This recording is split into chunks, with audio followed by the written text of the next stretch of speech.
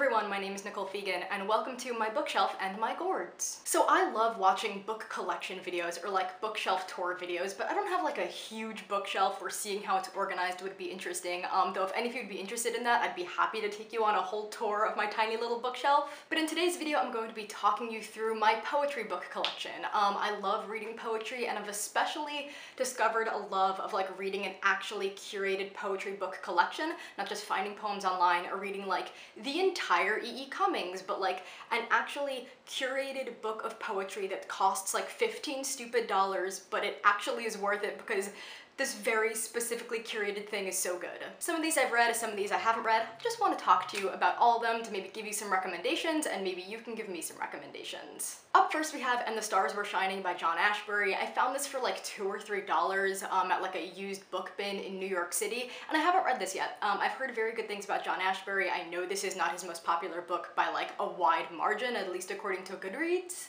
But one of my friends has spoken quite highly of him, um, so this is something I'm very excited to get to. Um, and the poems, I don't know, seem long and naturey, and I like the font of the book. The font of a poetry book matters so much, I don't even know how to tell, like, what to tell you. So yeah, excited to get to this sometime soon. Next we have Sympathetic Little Monster by Cameron Awkward Rich. Um, I read this for a college class on transliterature. Um, Awkward Rich is a black trans man, and these poems are so beautiful. My copy of this book is like all written over because I wrote a couple essays about this book um, for that class.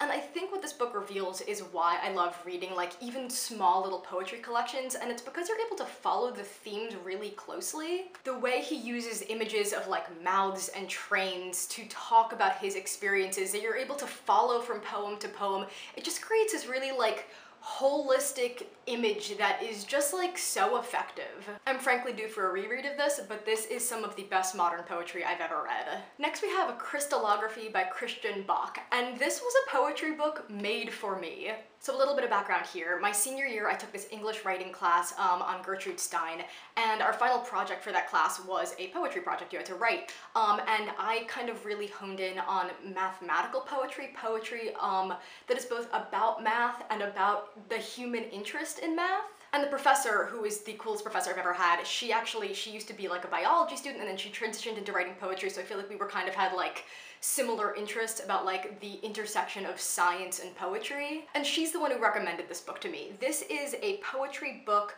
about like fractals and crystals and formations in like a mathematical chemical way. Yeah, so a lot of these poems are quote unquote studies on crystals, fractals, ruby, glass. Um, there is like a whole section on snow and then um, geodes and diamonds, but it's all under this umbrella of the fact that Christ, um, Christian Bök's father was a crystallographer. So this is dealing in some ways with a lot of these mathematical, scientific things, but there's also this very personal story weaved throughout this that like really just brings it all together. I haven't really written poetry since I graduated college. I think I might have written one poem, um, but this really inspired me and I feel like if I ever do get back into writing, it's gonna be something in the guise of this. Um, and I just like, I am so impressed with the way he weaved all of his themes and interests and it's awesome. Next we have the poetry book I think I have owned for the longest and that is 100 Selected Poems by E.E. E. Cummings.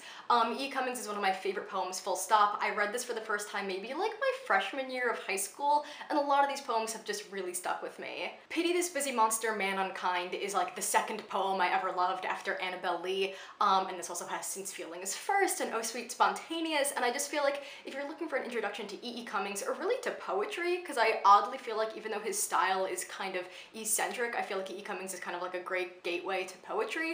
Um, I just cannot recommend this enough. I haven't read a ton of his other stuff to know if like the 100 ones selected for this are really his best, but I love it. Next we have The Wasteland and Other Poems by T.S. Eliot. Um, I read The Wasteland for college, but not from this book. Barnes & Noble was doing this thing for a while where they had like these, what, the, the Barnes & Noble classics, like buy two for five dollars. So this was like one of the ones on the table I was most interested in. Whatever, I have not actually read this book yet. I remember really enjoying The Wasteland. Um, it's obviously like one of the most important poems ever written, um, but there's not really much more I can say about this since I haven't read it yet. Let me know if you like Eliot in the comments below. Next we have my favorite poetry book of all time. I've talked about this on this channel before, and that is A Coney Island of the Mind by Lawrence Ferlinghetti. This is about the Coney Island of the mind and the circus of the soul. Um, this is poetry that is not specifically about Coney Island, though it does have a very like city feel. Feels like it's about life in the city and life life at this time period, it feels very 1950s. It feels very beat. Of like the beat literature I've read, this is probably my favorite. Granted, I haven't read a ton. I've read like this and On the Road and maybe some other scattered stuff. There's one long poem in this collection called Junkman's Obbligato that I think might be my favorite poem of all time. It just like moved me like beyond words. Um, and this again feels very cohesive, even though I think it has like poems from like three different collections in this one collection. Um, it's just exceptional. I cannot recommend this enough to people who already read poetry and people who are trying to get into poetry alike.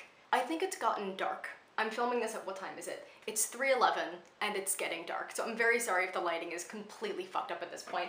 But next, we have The Carrying by Ada Limon. I literally just read this last month. Um, this is a book about fertility and motherhood and environmentalism and the world changing. Modern poetry gets a bad rep. Um, I too do not like the trend of very, very short poems, and I feel like because that is so popular, it has deterred a lot of people from checking out poetry that has been published in the 2010s or now in the 2020s. But I really enjoyed this. At no point did I think it was too dense or complicated for me, and yet the language and the pacing and the flow of these poems was so dynamic, um, just in ways that, I don't know, I feel like there was such a, yeah, again, this negative, per, like, perception of poetry being written nowadays, which I understand, but, like, this was real good.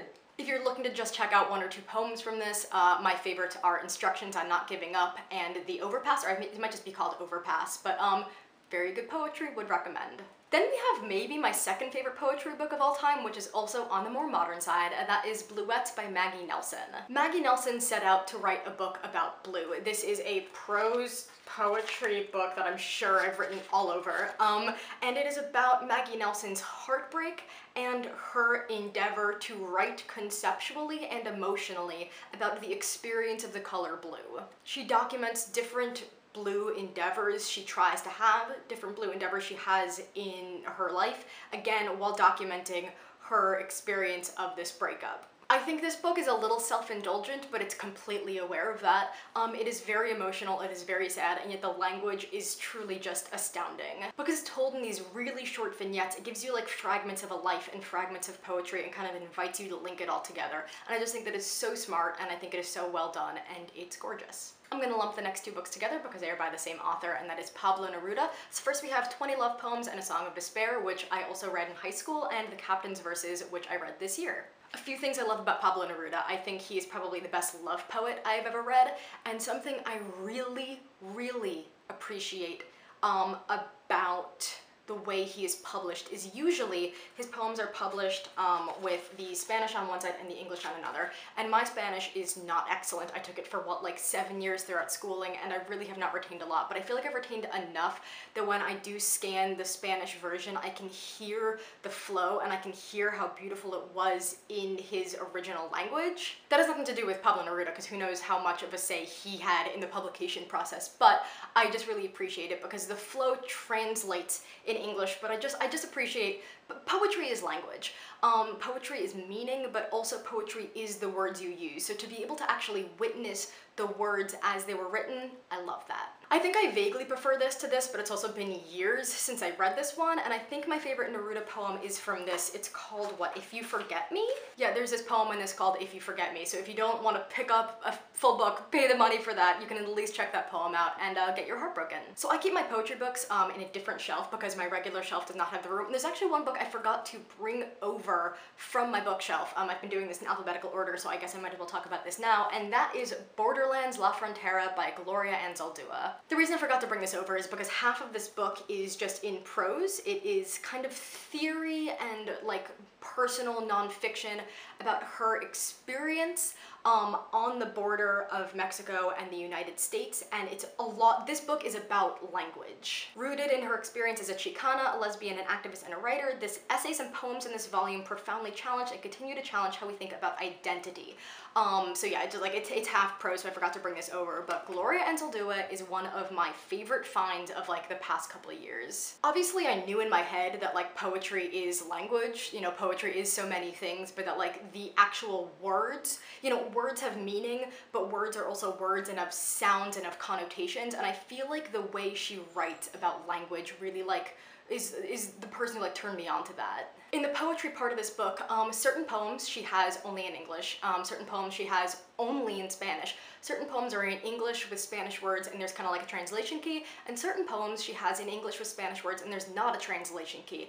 And the fact that I think that she like kind of plays with that, um, like makes you so aware of the fact that words aren't just their meanings. I don't know, it like this I feel like this really changed the way I see poetry and kind of all language. If you are a poet or are really interested in poetry, um, or even just like language, words from any kind of theory perspective, I cannot recommend this enough. It like really is one of the most like life-changing things I've read recently. Getting back to my stack of poetry, we have a book I have not read yet, and that is what New and Selected Poems by Mary Oliver. When I was at Barnes & Noble like a year ago, wanting to buy some poetry, and I saw all this Mary Oliver, and I was like, this very large book is the same price as all these small books. I will buy this one, more Mary Oliver for the price. That, my friends, was a mistake for me personally. I'm just never gonna wanna pick this up. I mean, that's not totally true, I'm gonna pick it up soon, but like, I think because of the length of other poetry books and also the fact that they are curated to be read like they're, they're, they're thematically or somehow linked like I'm just more apt to pick up that something that feels like a complete picture where this just feels like a collection. I have heard only good things about Mary Oliver. If enough of you are like no shut the fuck up you just need to start reading her I will and like I want to read this but I just made a mistake for me personally by buying this instead of anything else she's ever written. Up next on my shelf is this poetry book, um, which is a collection of poems that my boyfriend has written. Um, his mom put together kind of a collection of a lot of his stuff over the years for his birthday a few years back. He is the most talented person I have ever met, and I cannot wait to one day be able to talk to you about a Griffin Plaid collections of poems that you can go buy and feast on. But that day is not today, so I will just gush over these privately. Up next, we have Don't Let Me Be Lonely by Claudia Rankine. Um, her most popular book is this book called Citizen, um, but I read snippets of this for my very first writing class in college, um, Intro to Creative Writing, and like the passages we read moved me so much that I had to buy the full thing. This is one of the only poetry books that I have, and there are a few coming up, that I've read that I don't totally love. Um, this is about a lot of things. This is about um, like the post 9-11 world and technology and racism and also like the stuff that I remember I feel like these snippets that we read in class were about like I think her friend has cancer and is dying and there's like discussions on death it's about a lot of stuff I just didn't think it all came together perfectly. It's also been about six years since I've read this, so I could be full of shit. Um, but I'm really interested in some of her other work. I just can't completely wholeheartedly recommend this. Up next, we have another book that I picked up because I liked someone's work so much in class that I went to buy one of their books, and that is Some Animal by Eli Shipley. We read uh, some of Eli Shipley's poems for that class on trans literature because he is a trans poet, um, and I was just so impressed by them that I wanted to like both support him and read more of his work. Um, and this book is very interesting.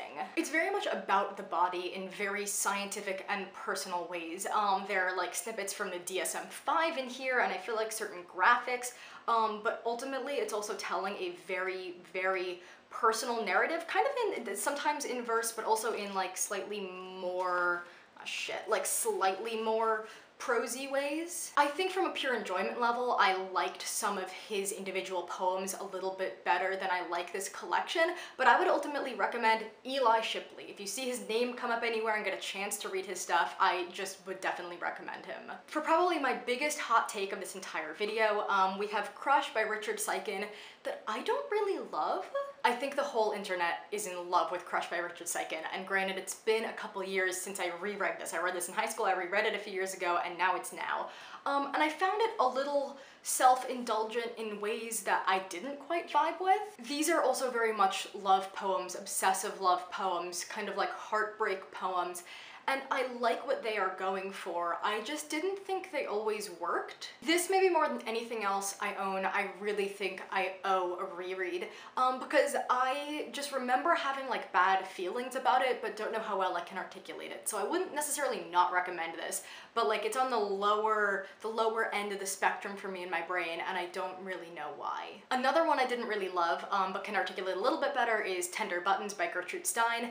This is one of those pieces of art that I massively respect, but just at the end of the day don't really enjoy. Tender Buttons is in three sections, objects, food, and rooms. I think a lot of stuff from objects is the most famous, and I actually did quite like objects, um, but I think food and rooms kind of lost me. Tender Buttons, if for those of you who don't know, is an incredibly, incredibly experimental um, piece of poetry. Um, let's see if I can like read one of these that I especially liked. Oh, I feel like I remember a red stamp.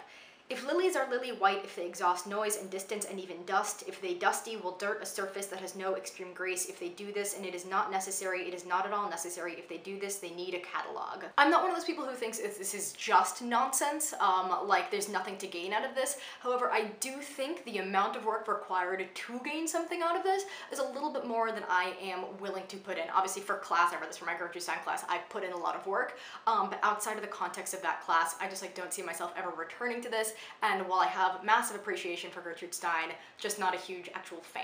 Next we have the poetry book I haven't read that I am most excited to read, and that is Paterson by William Carlos Williams. A few things about this. One, I have liked all the William Carlos Williams I've ever read. Two, my boyfriend loves this book and it kind of, I feel like, revitalized his love for writing poetry. Three, Paterson, directed by Jim Jarmusch, which is a film that is set in Paterson and has to do with poetry, like, was obviously clearly, like, incredibly inspired by this. Paterson is kind of a mix of prose and poetry that I feel like is very much, like, about place about Paterson. Um, in, in its course of the city of Paterson, New Jersey, becomes a, both a place and a man, a symbolic figure in which the personal and the public merge. Um, I'm just like very fascinated about this because it it's very long and it is poetry that has an overarching narrative which I'm just very interested in. Can't say much more, but I am very excited to get into this. Okay, I have a few more books to get into. Um, first off, I own Autobiography of Red by Anne Carson that I'm actually reading right now and it is in my car and I'm not gonna go down to my car and get it.